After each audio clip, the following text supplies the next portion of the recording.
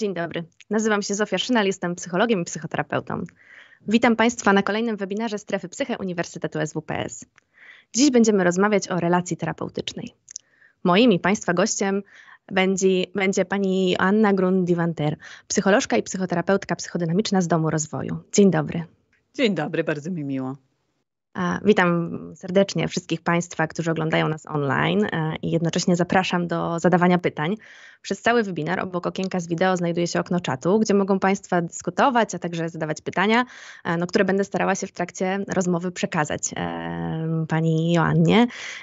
No i będziemy się wspólnie starały odpowiedzieć na najwięcej Państwa pytań, więc serdecznie zapraszam do aktywności. Ale zacznę od swojego pytania, takiego chyba otwierającego, najbardziej ogólnego. Czy mogłobyśmy na początek jakoś zdefiniować, czym jest w zasadzie relacja terapeutyczna? Mhm.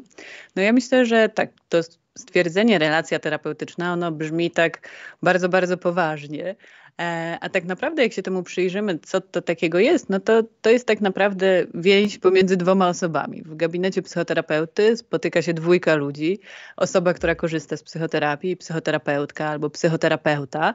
No i ta relacja terapeutyczna to jest wszystko to, co się e, pomiędzy nimi dzieje, czyli e, to są wszystkie emocje, wszystkie myśli na temat siebie nawzajem, E, nastawienie, które do siebie mamy, wszystko to, co pojawia się pomiędzy tymi dwoma osobami, no to jest właśnie ta relacja terapeutyczna, czyli to jest więź, e, która się rozwija pomiędzy terapeutą a, czy terapeutką, a tą osobą, która z terapii korzysta. E, no i musimy pamiętać, że to jest tak, że ten nasz terapeuta, czy nasza terapeutka, to osoba, z którą my regularnie spędzamy czas. Zazwyczaj, no ja akurat jestem psychodynamiczną terapeutką, więc pracuję długoterminowo, więc y, spotykam się z moimi pacjentkami, pacjentami, klientkami i klientami e, co tydzień, przy, czasem dwa razy w tygodniu, przez rok, dwa lata. Zdarza się, że dłużej, zależnie od tego, no, co konkretnie się dzieje i jakie są cele terapeutyczne.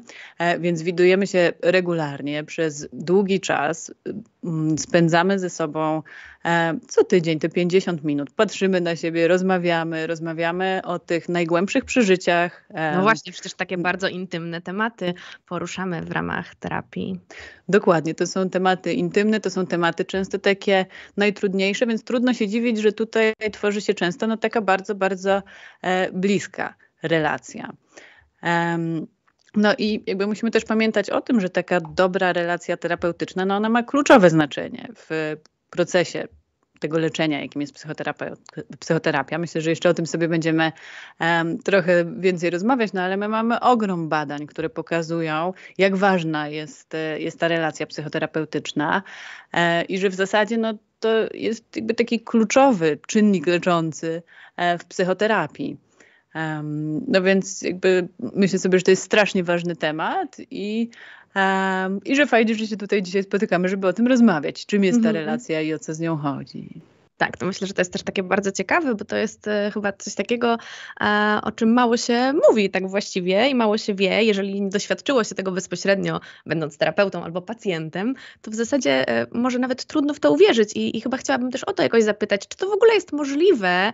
E, jak to wytłumaczyć osobom, które nie miały okazji tego doświadczyć? E, no bo, bo, bo można w jakimś sensie pomyśleć, że jest to jakaś usługa, za którą płacimy i czy w takim razie możemy mówić o autentycznej relacji, e, jeżeli ona jest, no, no właśnie ma taki charakter. Mhm.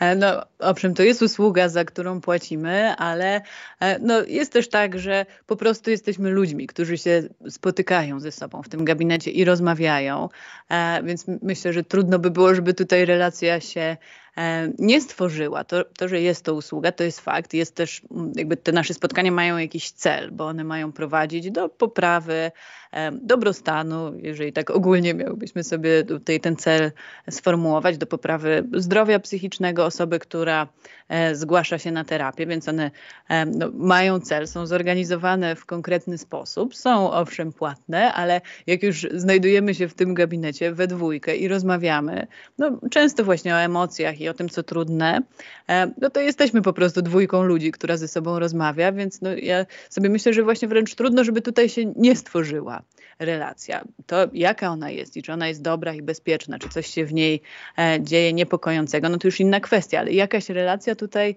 um, zawsze się stworzy. Myślę sobie, że rzeczywiście, tak jak pani powiedziała, to jest coś, o czym mało się rozmawia, mało się o tym rozmawia, może tak na zewnątrz, poza gabinetami, tak, z tak. kolei w gabinecie, no już tu zależnie od nurtu terapeutycznego, ale ogólnie w gabinecie rozmawia się o tym bardzo dużo. O tym, jaka jest ta nasza relacja i o tym, co się w tej relacji dzieje. E, I myślę sobie, że to może być w ogóle takim no, kluczowym czynnikiem, e, który umożliwia zmianę, obserwowanie tego, co, co się dzieje w tej relacji, co się w niej też odgrywa, na przykład z innych relacji. E, I to, jak rozwiążemy to, co się zadziewa pomiędzy tymi dwoma osobami siedzącymi w gabinecie, no, ma ogromny wpływ właśnie na, na ten proces leczenia. Więc jakby tak, na zewnątrz rozmawia się o tym mało i jest to taki może nie do końca zdefiniowany pojęcie, pojęcia, za to w środku w gabinecie e, rozmawia się o tym dosyć dużo. No właśnie, chyba już pytania od czatu dotyczą osób, które no, no, no wiedzą coś być może więcej, same doświadczyły lub, e, lub być może e, są po drugiej stronie w roli terapeuty. E, no i chcieliby się dowiedzieć, w jaki sposób e, terapeuta może wykorzystać przeciwprzeniesienie w leczeniu pacjenta, ale myślę sobie, że żeby odpowiedzieć na to pytanie, musimy najpierw wytłumaczyć, czym jest przeciwprzeniesienie dla tych osób, które mają prawo, myślę, tego nie wiedzieć. To też nie jest takie mhm. pojęcie, e, które gdzieś funkcjonuje w ogólnym obiegu. Tak, no bo mamy tutaj tak naprawdę, jak mówimy o przeciwprzeniesieniu, no to pewnie musimy też powiedzieć o przeniesieniu. Zdecydowanie. E, I to są rzeczywiście te zjawiska, które się pojawiają w relacji e, psychoterapeuta, pacjent czy klient. No i przeniesienie to, to jest to, co się pojawia od strony klienta czy od strony pacjenta w stosunku do terapeuty. I e, mhm. nazywamy to przeniesieniem, dlatego że rozumiemy to jako właśnie przeniesienie pewnych emocji, e, pewnego nastawienia czy pewnego stosunku do tej osoby e, z innych relacji, no często tych najważniejszych w naszym życiu, które kształtują nasze widzenie świata e, i stosunek do tego świata. No czyli często to będą relacje z rodzicami, z ważnymi e, innymi dorosłymi w życiu dziecka, ale mogą być też różne inne. No i jakby te emocje pochodzące z tamtych relacji przenosi się na terapeutę i na przykład spodziewamy się, że nasz terapeuta zachowa się podobnie jak ktoś inny w naszym życiu kiedyś. To może oznaczać na przykład, że będziemy się spodziewać od naszego terapeuty, że on nas porzuci, tak jak porzucały nas inne osoby. I wtedy pojawia się taki strach czy lęk przed, e, przed tym porzuceniem. E, I mogą pojawiać się też podobne emocje, jak w relacjach E, z innymi ludźmi, czyli na przykład ten nasz terapeuta może nas złościć, może e, nas smucić, mimo że to nie pochodzi jakby z tego, co faktycznie się dzieje w tej relacji, e, no tylko wywołuje w nas takie reakcje, jak inne ważne osoby w naszym życiu kiedyś. Więc to jest przeniesienie, no i mamy też przeciwprzeniesienie, czyli to są te wszystkie emocje, które z kolei czuje terapeuta wobec, wobec pacjenta czy wobec klienta. No i oczywiście my możemy i wykorzystujemy, myślę, że większość terapeutów wykorzystuje to przeciwprzeniesienie w procesie psychoterapii. Po pierwsze do tego, żeby zrozumieć lepiej naszego klienta czy, czy pacjenta. E, to znaczy, jeżeli ja na przykład w relacji z osobą, która siedzi u mnie w gabinecie, będę czuła złość, zauważę ją i, i jakby zacznę się zastanawiać, co ona oznacza i skąd ona się bierze, no to mogę jakby lepiej zrozumieć tą osobę. To znaczy, e, mogę na przykład zastanawiać się, czy to jest tak, że ta osoba coś takiego robi w kontakcie e, z drugim człowiekiem, co tą złość budzi i czy to jest na przykład coś, co dzieje się w wielu różnych e, relacjach, czyli czy pojawia się coś takiego pomiędzy nami w tym kontakcie, co budzi moją złość, no czy to może jest moje, bo pochodzi jakby z jakiegoś, jakiejś mojej trudności w tej relacji, ale kiedy się nad tym zastanowię i na przykład dojdę do wniosku, że no, to, ta złość... Jednak jest pacjenta. Tak, jest pacjenta, pochodzi od pacjenta i jest na przykład czymś, co się pojawia właśnie w jego e, wielu różnych relacjach, no to poddając to analizie, e, czasem też dzieląc się tym z pacjentem, e, no możemy właśnie zauważyć na przykład pewne takie schematy, które się powtarzają w różnych relacjach, pewnych, pewnych zachowań, czy pewnych sposobów komunikacji e, albo jakiegoś nastawienia do drugiej osoby, no, które sprawiają, że inni ludzie reagują e, na tą osobę na przykład złością albo, albo czymkolwiek innym. Więc to są te wszystkie reakcje, które się pojawiają w terapeucie wobec pacjenta. No i jak je dobrze zrozumiemy, no to one myślę, że mogą być ogromnym zasobem e, do, do pracy, do tego, żeby zrozumieć e, no, funkcjonowanie pacjenta czy klienta, żeby zrozumieć to, e, z czym on się spotyka i jakie być może wzbudza też reakcje, czy wzbudza reakcję jego zachowanie w innych ludziach. Mhm. No to chyba najlepszy dowód na to, jak ważna jest relacja, bo w zasadzie pracując na przeniesieniu i przeciw przeniesieniu pracujemy właśnie na relacji. To wszystko, o czym Pani powiedziała, to właśnie rozgrywa się w relacji, więc mam nadzieję, że odpowiedziałyśmy tutaj e, na to pytanie. A co oznacza, że relacja jest niesymetryczna? No bo umówmy się, no nie możemy mówić, że to jest taka relacja jak przyjaciela, e, przyjaciół czy, czy, czy, czy, partnerów, w którą no, staramy się wejść symetrycznie. To jest taka relacja, w której jedna osoba jest terapeutą, ma wiedzę e, i dostaje pieniądze za swoją pracę i jakoś ustala pewne ramy sytuacji, a druga osoba jest pacjentem, jest w trochę innej pozycji. Tak, w zasadzie już pani dosyć no. dobrze powiedziała, na czym polega ta niesymetryczność tej relacji, ale rzeczywiście no, muszę się tutaj zgodzić. No, ona polega przede wszystkim na tym, że my w tym gabinecie psychoterapeutycznym znajdujemy się, jesteśmy tam w innych rolach. E, terapeuta jest terapeutą, więc przede wszystkim e, jest tą osobą, która słucha i dowiaduje się i jest ciekawa e, i chce wiedzieć jak najwięcej o pacjencie, pacjentce w gabinecie. No, z kolei właśnie ta osoba korzystająca z terapii, no to jest ta osoba, która o sobie opowiada i która jakby pokazuje siebie terapeucie. No terapeuta tego nie robi, dlatego że to nie jest jego czas. To, to nie jest czas na to, żeby się dzielić e, nie wiem, swoimi problemami albo e, swoimi sprawami, albo tym, co się robiło e, w tym tygodniu. Terapeuta może iść na swoją własną terapię i tam e, się tym dzielić, ale ten czas w gabinecie, te 50 minut, za które e, pacjent czy klient zazwyczaj płaci, albo nawet jeśli za nie nie płaci, no to, to tak czy siak jest czas dla niego. E, więc no, z pewnością właśnie jakby ta niesymetryczność polega na tym, kim my tak naprawdę się zajmujemy w tym gabinecie. No bo zajmujemy się pacjentem, zajmujemy się jego sprawami, zajmujemy się e, jego emocjami i jego, e, i jego myślami. No i druga kwestia, jeśli chodzi o tą niesymetryczność, jest też taka, no, że terapia jest z pewnością jakby formą współpracy. Tak? I ja sama bardzo często tak mówię osobom, które do mnie przychodzą, że my tutaj jesteśmy razem, jesteśmy tutaj we dwójkę i jakby razem będziemy dążyć do tego celu, który, um, który sobie e, ta osoba wyznacza. Ja tu sama nic nie zrobię, ten drugi człowiek też tu sam nic nie zrobi. Musimy um, działać razem. No ale um, jednak są takie kwestie, które można by powiedzieć jakoś narzuca psychoterapeuta.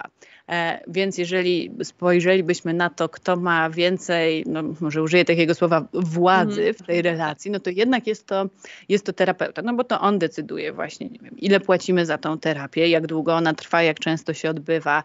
Um, I takie ogólne e, zasady jej dotyczące. I dlatego też, że, mm, że terapeuta ma więcej tej no, władzy w terapii, to to jest też bardzo odpowiedzialna pozycja, w której no, trzeba być ostrożnym i w której jakby łatwo e, może zdarzyć się i mogłoby zdarzyć się jakieś nadużycie tej władzy. E, więc no też terapeuta ponosi w gabinecie ogromną um, odpowiedzialność, bo z jednej strony ponosi odpowiedzialność właśnie za to, że osoba, która przychodzi do gabinetu, dzieli się e, z terapeutą czy z terapeutką swoim cierpieniem, swoimi emocjami, swoimi najtrudniejszymi wspomnieniami. I ta, to, jak my na to zareagujemy, no to jest bardzo, bardzo ważne i znaczące w życiu tej osoby, no ale też ponosi odpowiedzialność w ogóle za swoje e, zachowanie i za to, żeby tej osoby nie skrzywdzić, bo w momencie, kiedy decydujemy się na pomoc i w pewnym sensie trochę się oddajemy w ręce tej osoby, ona e, właśnie ma w tej relacji pewien stopień władzy czy jakiejś siły, no to trzeba tę osobę potraktować właśnie z troską i wrażliwością e, i być uważnym na to, żeby tej swojej władzy i siły w żaden sposób nie nadużyć. Tak, czy zgodzi się Pani z takim mm, stwierdzeniem, że jest to bardzo specyficzna relacja, że jest to hmm. raczej taka relacja, której nie mamy szansy doświadczyć w żadnych innych e, warunkach, w żadnej innej sytuacji i, i no, no, no, no, gdzieś moje doświadczenia podpowiadają, że na początku to może być trochę niezrozumiałe dla wielu osób, że zdarza się, że ktoś przychodzi do gabinetu, no i na pytanie jakoś e, co u Pana czy Pani odpowiada, no a co u Pani? Albo jak Pani minął weekend i że hmm. gdzieś jest to zupełnie naturalne. Mm, czy, czy, czy, czy ma Pani takie doświadczenia, czy, czy, czy tak się zdarza rzeczywiście, że na początku mhm. trochę nie rozumiemy tej sytuacji? Tak, ta, tak się zdarza rzeczywiście właśnie, zwłaszcza na początku, że to jest wyjątkowa relacja, taka, której e, no, nie doświadczamy na co dzień, bo umówmy się też, myślę, że bardzo niewiele z nas ma e, takie relacje, w których może siedzieć przez 50 minut i być uważnie słuchanym i mówić o to sobie. E, to, to jest sytuacja jakoś wyjątkowa i do tego też się e, trzeba trochę przyzwyczaić. To może być na początek nawet jakoś niekomfortowe, żeby tak długo, zwłaszcza no, dla niektórych osób, żeby tak długo e, mówić o sobie, żeby tak długo no, wypełniać tą przestrzeń sobą. Więc jakby to, to bywa trudne i to wymaga czasu, żeby się e, przystosować. Z mojego doświadczenia wynika jednak, że to dosyć szybko się dzieje. To znaczy, że te pierwszych kilka sesji bywa jakoś niekomfortowych. Zdarza się, że pojawia się właśnie jakaś taka, nie wiem, nie, nieprzyjemna w odbiorze cisza e, i że nie wiadomo co powiedzieć, ale też no, jest tak, że właśnie po to jest terapeuta w tym gabinecie no, y, żeby po pierwsze wytłumaczyć, co tutaj się dzieje i dlaczego my w taki sposób ze sobą rozmawiamy, e, i żeby też porozmawiać o tym, jeżeli to budzi jakieś wątpliwości, e, no to dlaczego to tak jest, że tu rozmawiamy o tej osobie, o jej trudnościach, a nie o terapeucie i dlaczego nie odpowiadamy na takie pytania, a co u pani? Z zazwyczaj nie odpowiadamy, albo a co pani robiła w weekend? nie uprzejmi wtedy jakoś, tak. No bo taka tak, symetryczność, ale... której się spodziewamy, wymagałaby tego, że jak ja pytam co u pana, no to miło jest wręcz, jeżeli ktoś inny nas zapyta, to jest tak specyficzna sytuacja, w której właśnie musimy się jakoś zawsze na początku odnaleźć. Tak, i dlatego w tej relacji terapeutycznej tak ważne jest e, zaufanie i takie poczucie bezpieczeństwa, e, bo ono nam potrzebne jest też do tego, żebyśmy mogli wszystkie takie sytuacje e, sobie omówić i żeby no, nie ciągnęły się takie emocje, które są nieprzyjemne, które są jakoś bolesne w stosunku do terapeuty. Czyli w takiej sytuacji, kiedy zapytamy terapeutę, a, a, co pan robił w weekend i on nam na to nie odpowie, no to oczywiście, że to może nas jakoś zirytować albo zasmucić, możemy się poczuć odrzuceni. No i taka dobra relacja terapeutyczna, no to taka, w której możemy o tym powiedzieć, że no kurczę, zrobiło mi się przykro, że pan mi nie powiedział, co pan robił w weekend i możemy o tym rozmawiać i to może być wyjściem no, w ogóle do jakby bardzo ważnej e, i ciekawej rozmowy, nie wiem, o odrzuceniu czy o um, czy o tym, jak się czujemy w relacjach, ale jakby do tego tą bazą niezbędną jest właśnie dobra i taka e, bezpieczna, terapeutyczna relacja, mimo że niesymetryczna. Mhm. Chyba podała właśnie Pani jeden z przykładów, który mógłby być być może odpowiedzią na, na kolejne pytanie. W jaki sposób relacja terapeutyczna leczy? Dlaczego mówimy, że, że jest ona jakoś czynnikiem leczącym w psychoterapii? Mhm. No, tutaj moim zdaniem wchodzą w grę dwie kwestie. Po pierwsze, tak, o której już trochę mówiłyśmy, czyli kwestia przeniesienia i przeciwprzeniesienia i że jakby relacja terapeutyczna jest właśnie takim polem, na którym to wszystko się rozgrywa, czyli jest tym miejscem, w którym może zaistnieć przeniesienie, e, czyli w którym też no, możemy zmierzyć się z emocjami, z myślami, z doświadczeniami z przeszłości. E, możemy się im przyjrzeć w momencie, kiedy one jakby rozgrywają się na bieżąco i możemy się nimi zająć. Czyli jakby zajmując się tym, co aktualnie dzieje się E, w relacji terapeutycznej, e, zajmujemy się tak naprawdę też tym, co w przeszłości i układamy to sobie i sprawdzamy, jak to na nas wpływa, co nam to teraz robi, co ze sobą zabraliśmy, na przykład z dzieciństwa.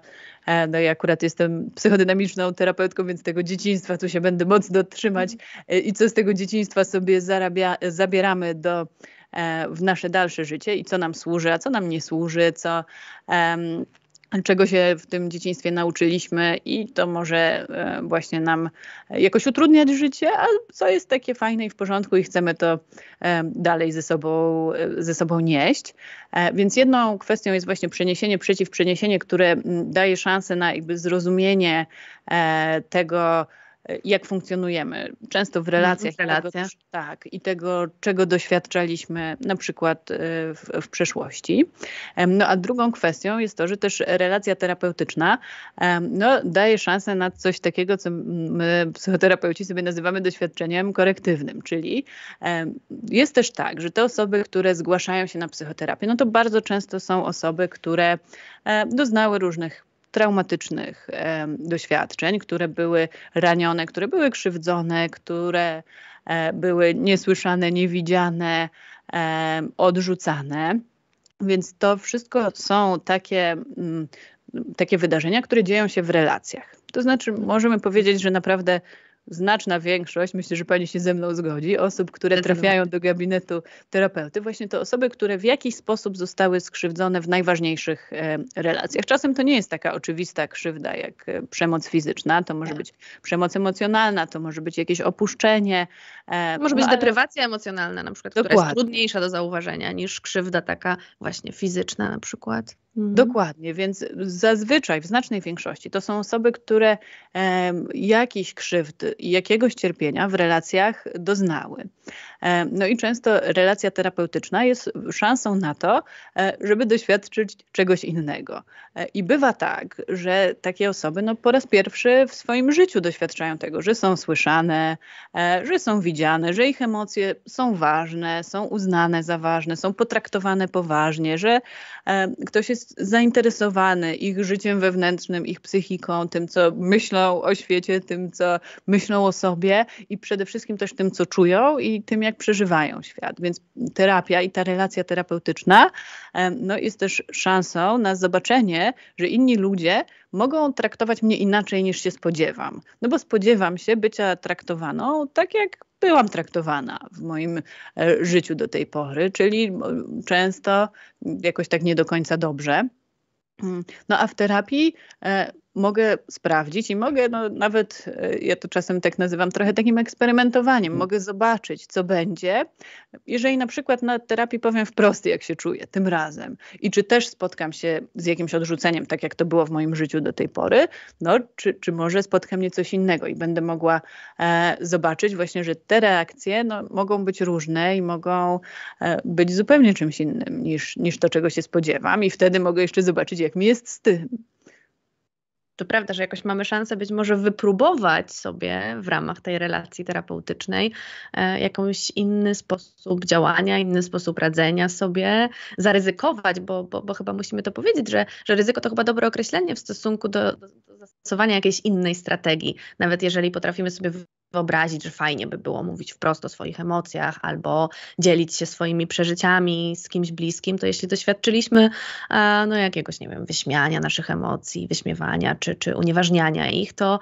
to chociaż być może chcielibyśmy i rozumiemy, że, że to byłoby dla nas ważne, to czasem gdzieś te emocje są zbyt trudne, zbyt ciężkie i ten terapeuta w takiej roli korektywnej tutaj e, daje nam na to szansę. Chciałabym podpytać trochę o, o, ten nurt e, terapeutyczny, w którym Pani pracuje, dlatego że mamy tutaj okazję rozmawiać ze specjalistami różnych nurtów, mm -hmm. ale nie bez przypadku. Dzisiaj rozmawiamy z Panią w ramach tej relacji terapeutycznej, bo chyba terapia psychodynamiczna jest jedną z tych terapii, gdzie ta relacja jest chyba szczególnie ważna. E, no i pojawiają się na czacie takie pytania dotyczące jakoś właśnie już bardziej e, stricte pracy w, w nurcie psychodynamicznym. E, i, I jest takie pytanie, czy psychoterapeuta ma obowiązek powiedzieć, jaka jest diagnoza, albo czy pacjent może o to zapytać, bo i, i widzę, że, że te pytania się jakoś powtarzają, że jest to jakiś taki ważny temat dla uczestników mm -hmm. naszego czatu. Czy może Pani trochę o tym powiedzieć? No, y, ja powiem tak, że na pewno psychoterapeuta nie zawsze będzie mówił, jaka jest diagnoza, bo też nie zawsze taka e, diagnoza jest. To znaczy, nie, nie zawsze osoba, która przychodzi na terapię, będzie miała e, stawiane jakiekolwiek e, rozpoznanie zaburzeń psychicznych.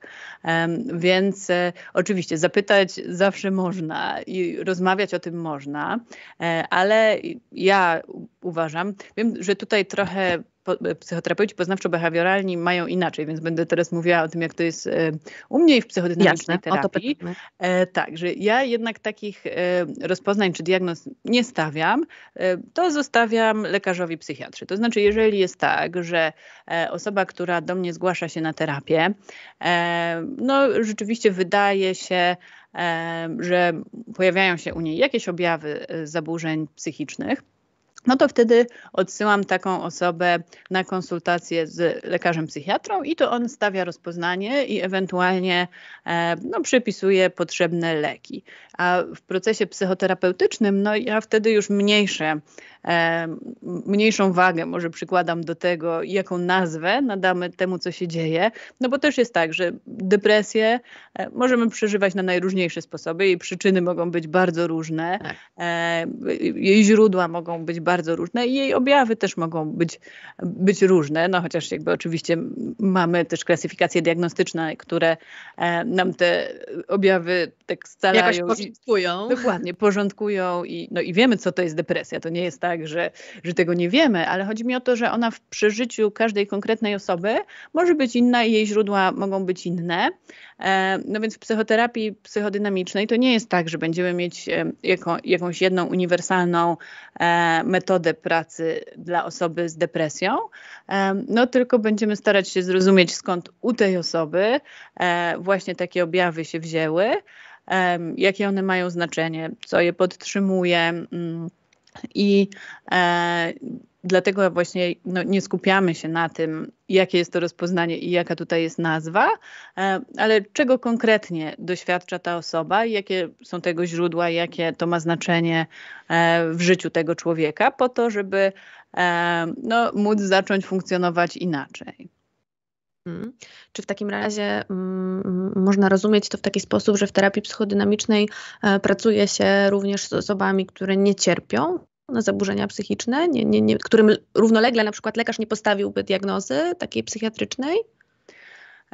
No, myślę, że tak można powiedzieć, tak, z mhm. pewnością, że E, możemy pracować z osobami, które nie mają diagnozy takiej e, psychiatrycznej, a które e, no, doświadczają mimo wszystko jakiegoś cierpienia, jakiegoś dyskomfortu albo mają jakieś tematy, które chcą sobie poukładać. To może być też praca na przykład w obszarze czy w wyniku jakiegoś kryzysu, który się pojawia i który no, jakby nie spełnia jeszcze kryteriów jakiegokolwiek tak. zaburzenia psychicznego, ale jest źródłem właśnie cierpienia, bólu e, czy jakichś wątpliwości i wtedy no, też możemy pracować e, psychodynamicznie. Jasne, że tak. A czy terapia e, psychodynamiczna nadaje się do leczenia zaburzeń osobowości? Czy ta relacja terapeutyczna jest takim czynnikiem, który leczyłby zaburzenia osobowości? No, myślę i też pokazują tak e, badania empiryczne, że terapia psychodynamiczna bardzo dobrze się tak. nadaje do, do leczenia e, zaburzeń osobowości. E, no właśnie dlatego, że zaburzenia osobowości w znacznej większości mają swoje źródła w, w, dzieciństwie, no poza jakby tymi oczywiście biologicznymi aspektami i genetycznymi, no to mają swoje źródła w dzieciństwie, często w przemocy i w krzywdzeniu, które spotykało mm, dziecko. No więc terapia psychodynamiczna e, jest świetnym narzędziem do tego, żeby, żeby się zmierzyć z tym i żeby właśnie w tej relacji z psychoterapeutą e, no, przyglądać się temu, co się działo w moim dzieciństwie, co sprawiło, że e, w taki sposób myślę o sobie, w taki sposób myślę o świecie, w taki sposób myślę o innych ludziach, co sprawiło też, że no, moje relacje z innymi ludźmi albo moje moje więzi z innymi ludźmi e, no, są takie, jakie są. E, często one nie są jakby do końca bezpieczne, bo bo tutaj też wchodzi w grę właśnie przywiązanie i to jak tak, my... pozabezpieczne style Tak, dokładnie. I po, te wszystkie pozabezpieczne style przywiązania, które e, no, łączą się z zaburzeniami osobowości. Więc temu wszystkiemu możemy się przyglądać w psychoterapii psychodynamicznej i możemy też e, no właśnie w tej relacji terapeutycznej doświadczać czegoś, czegoś innego. E, możemy budować inną relację niż te, które mieliśmy do tej pory. E, no ale też myślę, że to ważne, żeby powiedzieć, że jeśli chodzi o leczenie zaburzeń osobowości, no to to jest zdecydowanie taka długoterminowa tak. praca.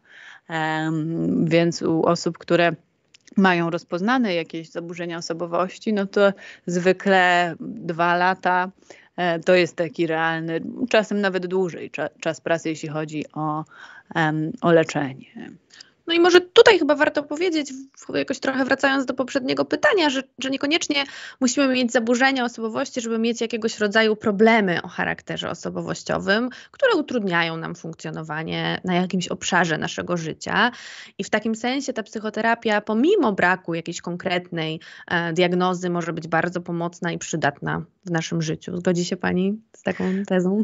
Tak, oczywiście, że się zgodzę, no bo poza tym, że my mamy zaburzenia osobowości, które możemy sobie rozpoznać i zdiagnozować, no to też każdy z nas ma jakąś osobowość i ma jakieś cechy osobowości i czasem one będą e, nam sprawiały trudność. To znaczy, jeżeli mamy jakiś powiedzmy rys osobowości, tak.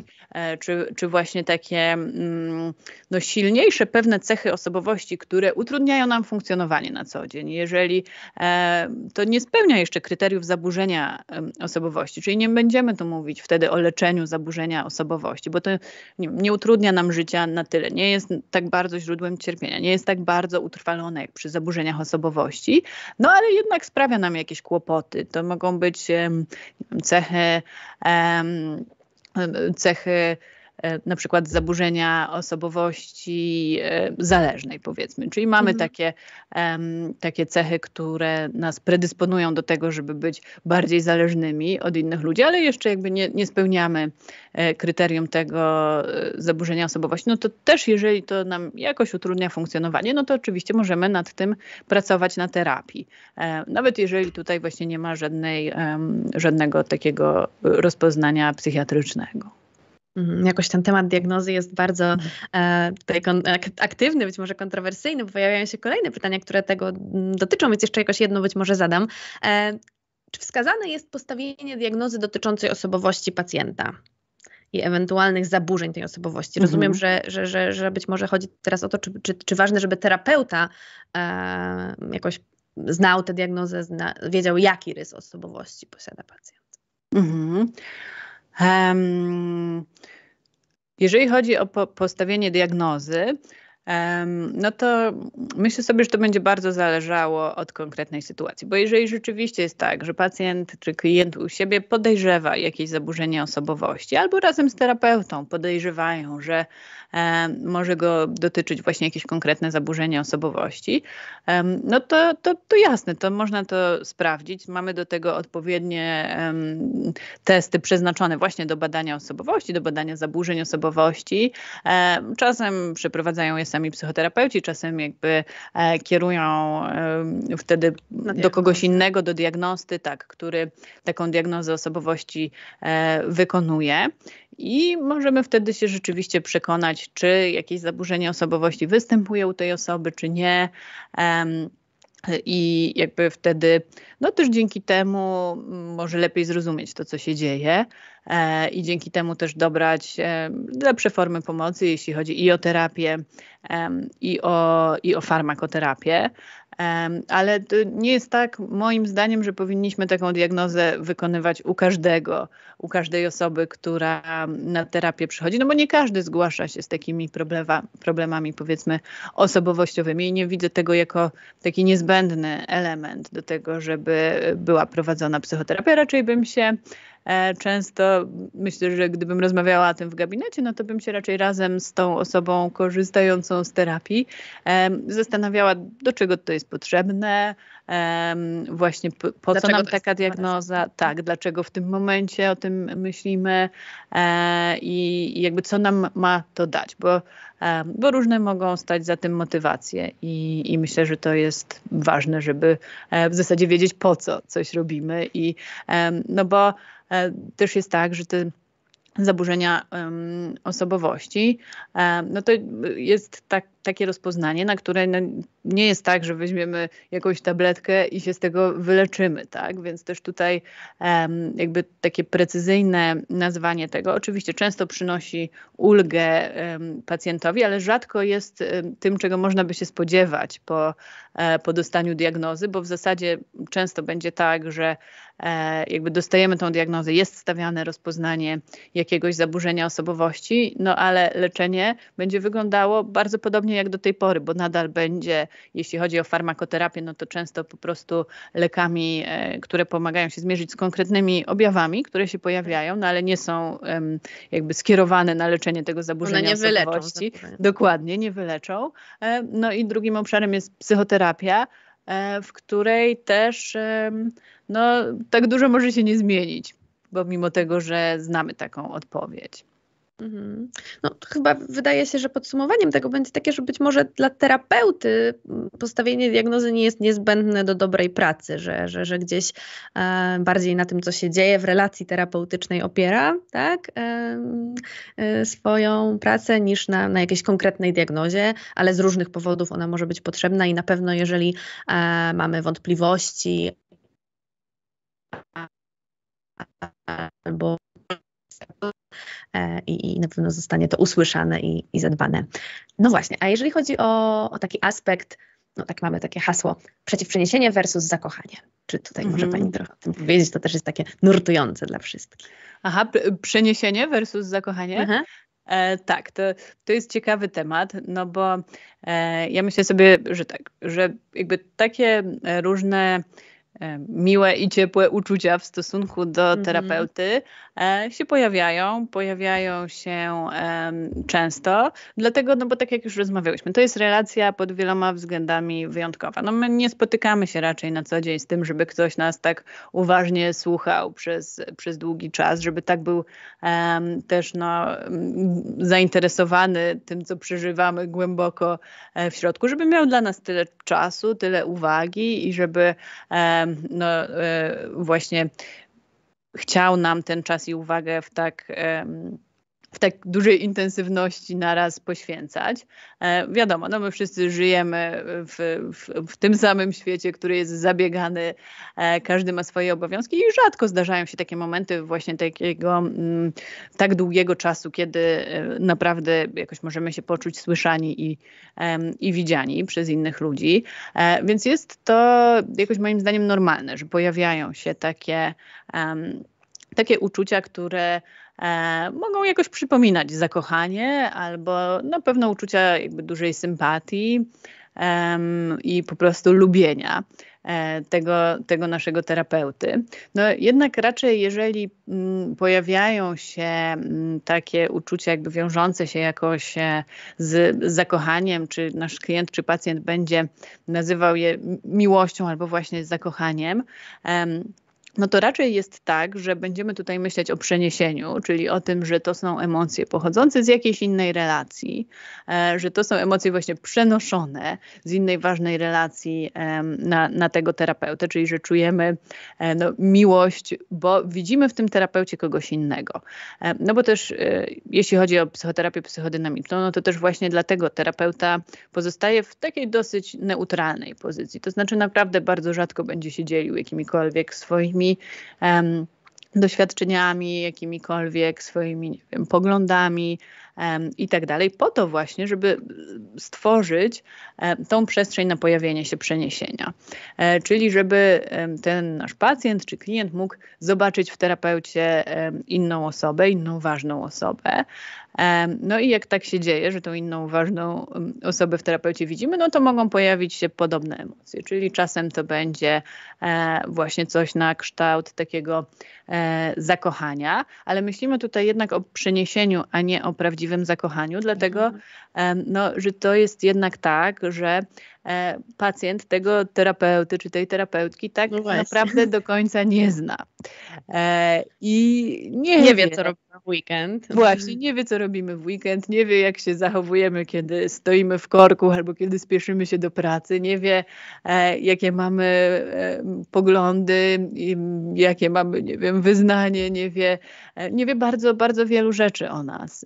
I dlatego jakby trudno jest to rozumieć jako rzeczywiste, prawdziwe zakochanie, tylko raczej będziemy to e, widzieć właśnie w takich kategoriach przeniesienia i emocji pochodzących z, jakiej, z jakiejś innej relacji, no bo trudno oczekiwać, że zakochamy się w kimś, e, kogo no, tak naprawdę zupełnie nie znamy. Raczej, raczej to jest po prostu takie przyjemne i to jest e, e, miłe być w relacji, w której jesteśmy jakby widziani i słyszani i jesteśmy traktowani z wrażliwością, empatią, współczuciem, ale jednak odróżniłabym to od, od zakochania.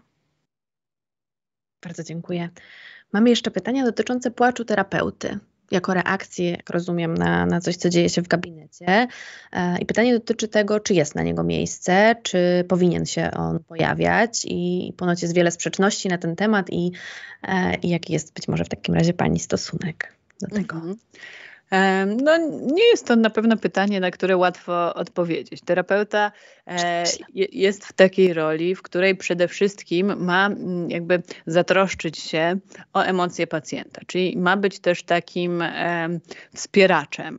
E, więc jeżeli miałoby to wyglądać tak, że pacjent jakby, czy klient przeżywa coś bardzo trudnego i cierpi, e, no i w reakcji na to terapeuta zaczyna płakać, e, no to mm, bardzo bym zastanawiała się nad tym, co, co, się zadziało w tej relacji. Zastanawiałabym się nad tym, czy właśnie nie odgrywa się tutaj jakieś przeciwprzeniesienie e, i czy no, na przykład to nie jest tak, że ten pacjent czy klient doświadczał w swoich relacjach e, czegoś takiego, że w momencie, kiedy mm, no, okazuje swoje emocje, to nagle ważniejsze stają się emocje tej drugiej strony. Nie chcę mówić tutaj o tym, że tak jest zawsze, ale jest to pewne e, ryzyko, że tak, że tak mogłoby się zadziać, że pacjent przeżyje to no, jako jakieś unieważnienie tych jego emocji. Myślę, że to będzie bardzo... Jakby, w takim sensie byłoby to niekorzystne. Tak, w tym sensie mogłoby mhm. to być niekorzystne. Myślę, że no, tutaj mamy bardzo dużo jakby takich niuansów, w jakim tak. kontekście tak. to się dzieje, w jakiej no tak, bo ja jestem w stanie sobie wyobrazić sytuację, w której z kolei to może uważnić jakoś e, to, co się dzieje z pacjentem i terapeuta jest też człowiekiem i będzie gdzieś różnica pomiędzy no, taką no, naturalną reakcją emocjonalną, a przecież też to chcemy pokazać, że emocje nie są czymś, nad czym my możemy w 100% panować, co, panować, co możemy super kontrolować i że gdzieś będzie różnica pomiędzy histerią i zalewaniem się łzami, a, a zaskrzklonymi oczami terapeuty w odpowiedzi na jakąś na przykład bardzo trudną i emocjonującą historię pacjenta. Myślę, że tu jest bardzo dużo niuansów i naprawdę trudno jednoznacznie odpowiedzieć na to pytanie. Tak, dokładnie, więc y, myślę sobie, że jedyną słuszną odpowiedzią na to pytanie będzie to zależy. Czyli to ulubiona zależy... odpowiedź psychologów na wszystko. Dokładnie tak. No to zależy właśnie od tego, w jakim kontekście to się dzieje. Też to zależy od tego, jak terapeuta e, ten swój smutek czy współczucie okaże, bo właśnie tak jak pani mówi, czasem to może być takie uważniające. No w końcu ktoś jakby widzi to moje cierpienie, widzi jak bardzo jest mi trudno. E, I jakby no, terapeuta jest człowiekiem, przeżywa emocje i oczywiście przeżywa te emocje też w gabinecie, ale to jego rolą jest też wziąć odpowiedzialność za to, w jaki sposób te emocje e, będzie okazywać i co to zrobi pacjentowi. I tutaj e, no, dlatego to, to może zadziałać różnie, zależnie od jakby konkretnej osoby, e, a my jesteśmy no, zobowiązani do tego, żeby dawać żeby reagować w taki sposób, który będzie adekwatny dla tej osoby i w taki, e, jakiej ta osoba konkretna e, potrzebuje. Więc jestem w stanie sobie oczywiście wyobrazić sytuacje, w których to, że terapeucie pocieknie łza jest jakby jak najbardziej adekwatne do sytuacji i, i myślę, że może się zdarzyć. No ale też na pewno E, jakoś to jest coś, co następnie należałoby omówić w gabinecie. Też, w ramach nie, superwizji być tak, może też. W ramach superwizji, ale też w gabinecie z tak. pacjentem, żeby nie pozostawiać tego no, w takiej sferze jakby fantazji pacjenta o tym, co, co tu się wydarzyło i czy w takim razie ja jakąś e, krzywdę robię mojemu terapeucie, albo czy, czy w takim razie no, e, te moje sprawy to są tak trudne, że nawet terapeuta się rozpłakał, więc już w ogóle beznadziejnie nic się nie da zrobić. Jakby tu jest ba bardzo dużo też fantazji, które mogłyby się na ten temat e, pojawić, więc no, myślę, że to jest coś, co po prostu należałoby omówić. A w momencie, kiedy emocje, które się pojawiają w gabinecie na bieżąco omawiamy, e, no to wtedy jest na nie przestrzeń. Jest przestrzeń i na smutek terapeuty i bywa przestrzeń na jakąś złość terapeuty. Mhm. To może takie przewrotne pytanie, czy psychoterapia bez dobrej relacji może być skuteczna? Bardzo trudno mi jest sobie wyobrazić psychoterapię bez dobrej relacji, która będzie skuteczna. Jest tak, że no, też my mamy ogrom. Myślę, że na pewno setki badań, które pokazują to, jak ważna jest ta e, jakość tej relacji terapeutycznej e, w psychoterapii.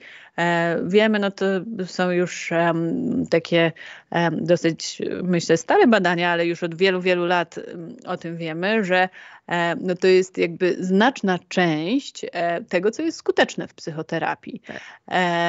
To y, jest nawet taka forma opisu tego, którą nazywamy ciastkiem Lamberta i to jest taki ciastko, bo to jest taki wykres kołowy, który jest podzielony na różne części i tam e, jakby 40% e, skuteczności e, terapii e, przypisuje się jakby takim pozaterapeutycznym czynnikom, czyli zmianom w życiu pacjenta na zewnątrz, poza gabinetem, mhm. a 30%, czyli jakby ta druga najwyższa część, która mówi o tym, dlaczego psychoterapia jest skuteczna, to jest właśnie relacja, relacja terapeutyczna. No więc to, to jest jakby ogromny, ogromnie ważny element psychoterapii. Można by właśnie no, na podstawie tego typu badań powiedzieć, że najważniejszy. I no, w związku z tym ja sobie nie wyobrażam psychoterapii bez dobrej relacji. Być może jeżeli chodziłoby o jakieś takie, no nie wiem, powiedzmy stricte behawioralne zmiany, które ktoś, czy zadania, które ktoś ma wykonać, no to być może wtedy by się dało. No bo powiedzmy, że to są, tylko chyba wtedy nie możemy nazwać tego jednak psychoterapią, jeżeli to są po prostu jakieś zadania, które tak, ktoś chyba. wykonuje. E, więc odpowiadając krótko na to pytanie, myślę, że nie może być psychoterapii bez dobrej, bez dobrej relacji, no bo ta relacja jest właśnie tym, co leczy, więc nie może być skutecznej psychoterapii bez dobrej relacji. A jest takie pytanie, co, czy zdarzyło się Panią odmówić terapii lub ją przerwać ze względu na złą relację terapeutyczną? Czy ma Pani takie doświadczenia? Mm, teraz usiłuję sobie przypomnieć, czy mam takie doświadczenia, że odmówiłam terapii ze względu na złą relację terapeutyczną. Nie nazwałabym tego tak, że odmówiłam terapii ze mhm. względu na złą relację terapeutyczną. Zdarzało się, że terapia się z tego powodu kończyła. Zdarzało się, że jeżeli ta relacja jakby nie toczyła się dobrze i pojawiały się w niej jakieś takie perturbacje, no to oczywiście zdarzają się takie sytuacje, kiedy to klient czy e, klientka kończy terapię, czasem nawet zrywa terapię czyli robi to jakby bez ostrzeżenia i bez omówienia, mm, co jest ogólnie takim nie najlepszym sposobem kończenia terapii, ale zdarza się. E, Mogłoby wtedy... właśnie świadczyć o tym, że nie udało się właśnie. nawiązać dobrej relacji. Dokładnie. Więc chyba właśnie tak trzeba odpowiedzieć na to pytanie trochę od drugiej strony, że to może być, że fakt, że nie udało się nawiązać takiej relacji, może być tym czynnikiem, który sprawi, że ta terapia zostanie przerwana? Tak. Tak, dokładnie tak. I jakby jeżeli tak się dzieje, że terapia zostaje urwana, no to ja zazwyczaj będę podejrzewać, że właśnie dlatego, że nie udało się stworzyć takiej dobrej e, relacji terapeutycznej. Zdarza się to oczywiście też tak, że ja mam poczucie, że ta nasza relacja nie układa się może tak jak powinna, albo właśnie, że tutaj ta osoba, która korzysta z terapii nie czuje się ze mną jakoś dobrze, bezpiecznie, komfortowo, tylko wtedy no, tym, co robię, no to nie jest kończenie terapii, czy, e, no czy wyrzucanie tej osoby z gabinetu, tylko omawianie tego i no, próba naprawy. Jeżeli jakby dzieje się w tej relacji coś niepokojącego, widzę, że coś mnie martwi, coś właśnie wzbudza jakiś mój niepokój, no to e, nazywam to, rozmawiamy o tym e, i sprawdzamy, co możemy z tym zrobić, czy możemy coś z tym zrobić. Jeśli będzie tak, że uznajemy, no nie, my się tutaj nie dogadamy, no to wtedy mogę taką osobę skierować do kogoś innego. Możemy się zastanowić, co w takim razie zrobić. Może potrzebny jest inny nurt terapeutyczny, inny terapeuta albo inna forma terapii ale E, na pewno nie zdarzyło mi się tak, żebym to ja e, jakby zakończyła terapię ze względu na to, że ta relacja źle się układa. Jeżeli tak się dzieje, no to po prostu ja to wnoszę na terapię, rozmawiamy o tym, przyglądamy się temu, co się dzieje i co można tutaj zrobić. Mhm. Chciałabym zadać jeszcze jedno pytanie mm, pochodzące tutaj od uczestnika czatu. Przeczytam je. Czy jeżeli wiem, że psychoterapeucie ktoś zmarł, wiem, że zachorował sam terapeuta, czy mogę zapytać, jak się ma, czy mogę wesprzeć słownie? Hmm. To jakoś bardzo dotyczy tego, o czym rozmawiamy i tej relacji. Tak, tak to, to dotyczy Pokazuje, że takie relacji. No, emocje się pojawiają, nie? Tak, że takie emocje się pojawiają i że też to budzi właśnie wiele takich wątpliwości, tak. prawda? Co jest w porządku w tej relacji, co jest nie w porządku w tej relacji. Ja oczywiście nie odpowiem na to pytanie no jakoś wprost, czy można, czy nie można, myślę, że na pewno można i warto to mówić na terapii. To znaczy, jeżeli kiedykolwiek mamy takie e, wątpliwości co do tego, czy ja coś mogę na mojej terapii, czy ja czegoś nie mogę, czy coś wypada, czy coś nie wypada, e, no to zawsze dobrym pomysłem jest to, żeby o tym po prostu porozmawiać, bo też dlatego staramy się mieć właśnie taką dobrą i bezpieczną tą relację terapeutyczną, żeby można było o takich rzeczach rozmawiać. Więc myślę, że jakby powiedzenie na terapii o tym, że się jakoś o terapeucie nie wiem, myślało, martwiło się o niego um, albo zastanawiało się nad tym właśnie, jak się ma, myślę, że zawsze jest na to przestrzeń, żeby to powiedzieć i, i, i żeby to omówić. I na wszystkie takie emocje i, i, myśli dotyczące terapeuty e, jest miejsce, no właśnie dlatego, że ta relacja terapeutyczna jest kluczowa, jest, jest kluczowym elementem psychoterapii. Więc chcielibyśmy dla pacjentów i dla terapeutów takich relacji, w których można o to zapytać albo właśnie wyrazić wszystkie swoje emocje, uczucia, również w stosunku do terapeuty. Dokładnie tak. Ja no? bym do tego bardzo, tak? bardzo zachęcała, żeby swoje różne myśli, emocje, wątpliwości dotyczące i relacji terapeutycznej, i terapeuty, e, żeby je wyrażać wprost, bo e, no, terapeuta powinien, i jego rolą jest to, e, żeby się tym zaopiekować, żeby się tym zająć i jeżeli to jest coś, co budzi wątpliwości, no to żeby te wątpliwości rozwiać. Jasne, no bo też to, co daje poczucie bezpieczeństwa, to chyba to, że wiemy, jak się zachować, tak. czego możemy się spodziewać ze strony naszego terapeuty, e, a jeśli nie wiemy, no to jak dopytamy, to będziemy wiedzieli i będziemy się czuli być może lepiej. Chciałabym jeszcze na koniec zapytać o, terapię online. E, no, w związku z pandemią e, pojawiła się taka forma jako coś znacznie bardziej popularnego niż, niż wcześniej. E, wiem, że być może w terapii psychodynamicznej nie do końca jest to najlepsza forma. I, i czy, czy, czy Pani pracuje online? A jeśli tak, to czy może Pani powiedzieć, jak wpływa to na relację terapeutyczną? Mhm. E, tak, mi się zdarza pracować online. Może powiem tak, że to nie jest moja ulubiona forma pracy mm. i jeśli mam inną możliwość, to zawsze w pierwszej kolejności zaproponuję i będę zachęcać do tego, żebyśmy spotykali się na żywo w gabinecie, bo wtedy po prostu jakby dużo łatwiej jest o taką emocjonalną wymianę, dużo więcej widać. E, dużo więcej widać, jeśli chodzi o emocje, które przeżywa pacjent, bo e, nawet jak mamy tak jakby ustawioną kamerkę jak my teraz, no to bardzo wiele można pominąć. Na przykład to, że ja się denerwuję i coś tutaj sobie e, robię w związku z tym rękami. Tego nie widać, bo, e, bo widzimy się przez kamerkę, więc jakby no nie jest to taka forma pracy, którą jakoś bym preferowała albo e, do której bym zachęcała każdego, ale pracuje w taki sposób, jeżeli ktoś nie ma innego wyjścia. To znaczy są osoby, które na przykład przebywają za granicą i w związku z tym nie mogą korzystać e, po polsku z terapii takiej twarzą w twarz e, na miejscu. Są osoby, które wiem, są na, na, kwarantannach, albo są też osoby z niepełnosprawnościami, które mają trudność z tym, żeby dotrzeć do gabinetu i w takich sytuacjach terapia online jest super i e, jest jakby, no, daje możliwość, żeby osoba, która inaczej by z terapii nie skorzystała, właśnie może z niej skorzystać. E, no ale ma też właśnie pewne swoje ograniczenia, więc ja powiem tak, że zachęcałabym do tego, że zawsze, jeżeli jest taka możliwość, to żeby korzystać z terapii jednak raczej twarzą w twarz, ale jeżeli takiej możliwości nie ma, no to mamy dostępną terapię online, coraz więcej o niej wiemy, coraz więcej jest badań, które też pokazują, że może być skuteczność. Tak. Więc e, no chyba, chyba tak to podsumuję, że można wolę się spotykać na żywo i wolę ten kontakt twarzą w twarz. Więcej wtedy na pewno um, widzę. I też, no, jeżeli pracujemy online, no to musimy też brać pod uwagę te ograniczenia.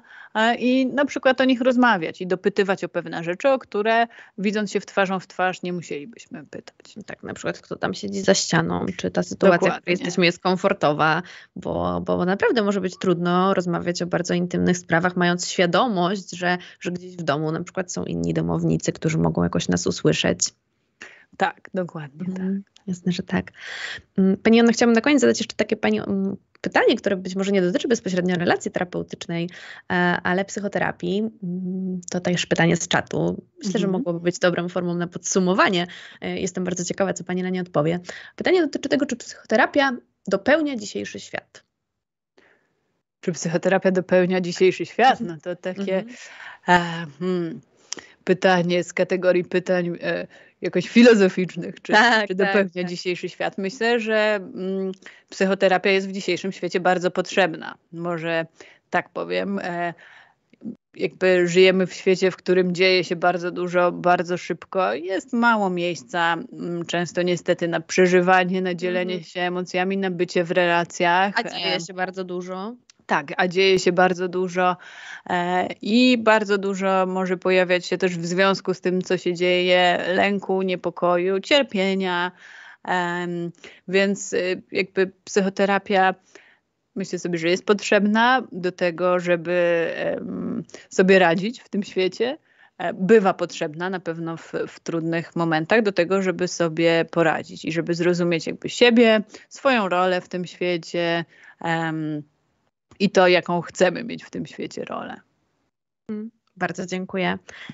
E, czy na koniec mogłaby Pani e, polecić e, uczestnikom naszego dzisiejszego webinaru być może jakąś literaturę albo podcast, coś, jakąś mhm. przestrzeń, jakieś miejsce, jakieś źródło wiedzy na temat relacji terapeutycznej, gdzie, gdzie osoby zainteresowane mogłyby jeszcze czegoś więcej się mhm. dowiedzieć? Mm -hmm. Hmm, to musiałabym chwilkę pomyśleć, no bo to zależy do kogo to ma być skierowane. No Jeżeli myślę, myślimy o terapeutach, przyszłych terapeutach, takich osobach, które jakoś um, wyobrażają sobie, czy zastanawiają się, E, nad byciem w roli terapeuty, no to um, na przykład ja polecam wszystkie pozycje Nancy McWilliams. Ona też fajnie e, pisze i o terapii, i o um, relacji psychoterapeutycznej, ale rzeczywiście tak. to są książki raczej e, skierowane do, e, do terapeutów. Mm. Na pewno też polecam wszystkie książki Jaloma, e, które już w takiej może bardziej przystępnej no właśnie, właśnie dla osób, chyba dla wszystkich, prawda? Dokładnie, dla osób też korzystających z terapii, czy chcących skorzystać korzystać z terapii. Tak, jest ich całkiem sporo, można sobie naprawdę przebierać. Dokładnie, dokładnie tak. Więc chyba to, to takie, um, takie źródła wiedzy, które mi przychodzą um, do głowy na ten moment. Jasne, bardzo dziękuję. Nie, no bardzo dziękuję za, za rozmowę, wszystkim Państwu za, za uczestniczenie, za aktywność, za zaangażowanie. E, serdecznie zapraszam na kolejne webinary Strefy Psyche Uniwersytetu SWPS. No a w międzyczasie zachęcam do czytania, oglądania, słuchania naszych materiałów na blogu Strefy Psyche, e, na YouTubie czy w serwisach podcastowych takich jak Spotify. Do zobaczenia. Dziękuję bardzo, do zobaczenia. Dzięki.